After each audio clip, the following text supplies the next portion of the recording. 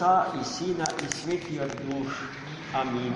Возлюбени во Христа Бога, браќа и сестри,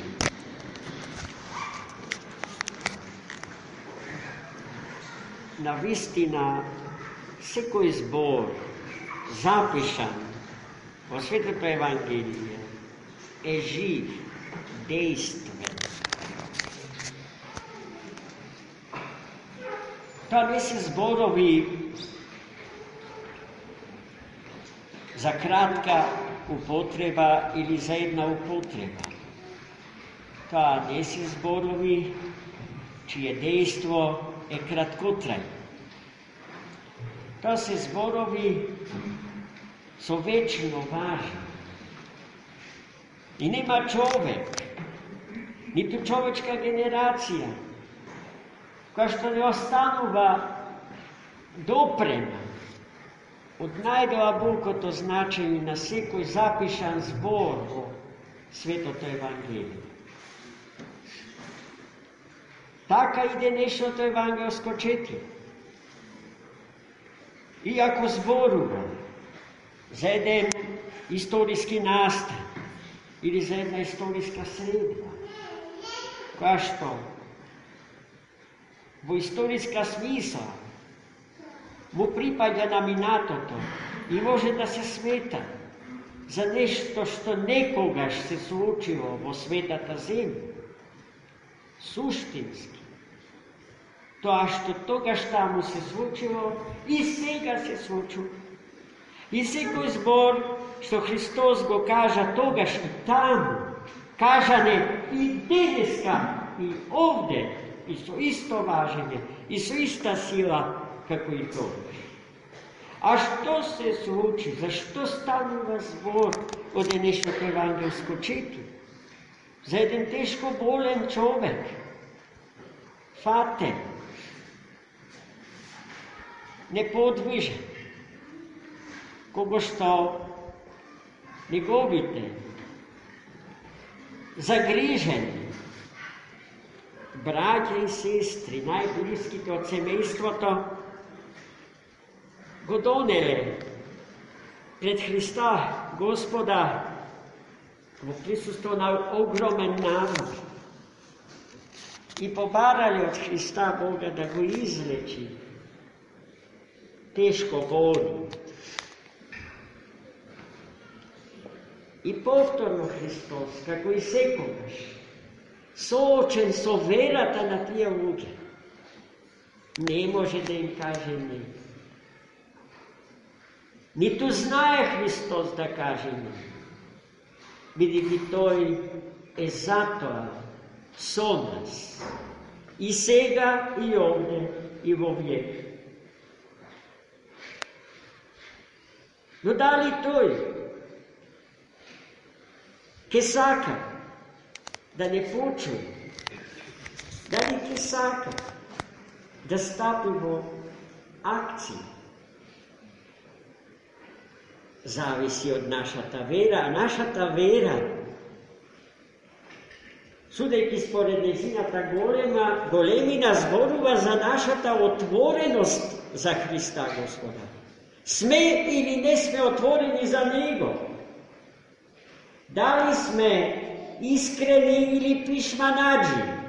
Дали бараме нешто што не сакаме да се случи? Или sosema sigurno bo bara metla od njega. To radiš to, to i ne može da ni kaže ne. Taka se suči i s ovoj čovjek. Zarad verata nasite okolo nego. Hristos gi kaže, najtočnite zborovi, što treba svekomu da mu gi kaže, na svekoj čovjek, pa i nas ovdje sobranite. Ти се проштеваат гревовите твои. Зошто е тоа најточното кажување? Затоа што гревот е причина за секоја наша болест. За болеста на телото, за болестите на телото, за болестите на душата, за болестите на духот, за болеста на умот наш, за болеста и нечистотата на срцето наше. Затоа Христос не заобиколно цели во целта. Те го ослободува Христос болни од причината за неговата болест, од гревот негов. Но гледајте ја реакцијата на луѓето околу, на припадниците на старозаветната синагога, кој што ништо наглас не кажа, туку во себе помислија. Дека овој Христос Богофул како може тој да каже нешто што само на Бога му припаѓа, нешто што само Бог на човекот може да му го каже, но токму за таа димензија Odlično sta na Hrista Gospoda, ti je bila slep, ti je nego gleda i nego pozna nego kako istinski Bog. I zato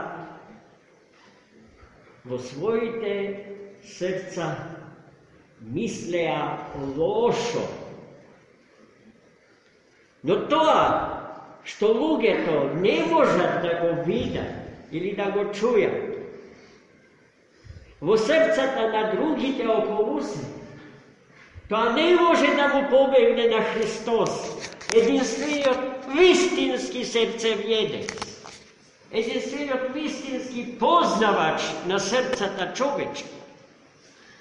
И тој наглас искоментира, Христос наглас искоментира. А зошто лоши мисли владеат во срцата ваши? И тоа е клучно прашање и за нас. Луѓето на овој век и на секој друг век, луѓето на овие простори и за луѓето на сите други простори, зошто мислиме лошо во срцата наши?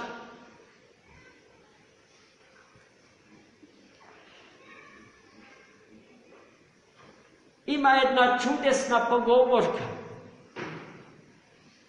narodna, no čije poteklo je hristijansko i koja što ne soočuva sosledno.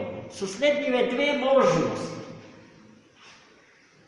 Od dobri misli čovek od se razobavlja, a od loši se nagrdu.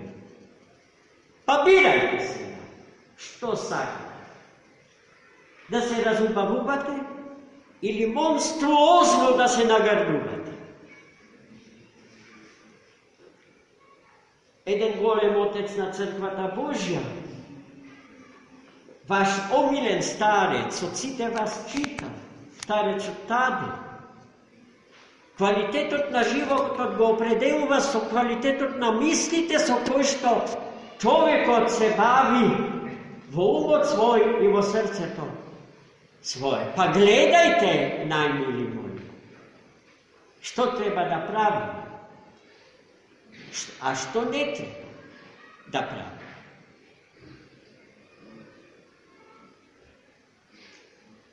I potom Hristos,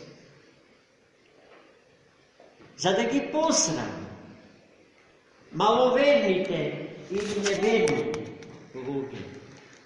gi praša, а што е полесно да се каже? Ти се проштеваат греховите или Стани, земи го одарот свој и оди си дом.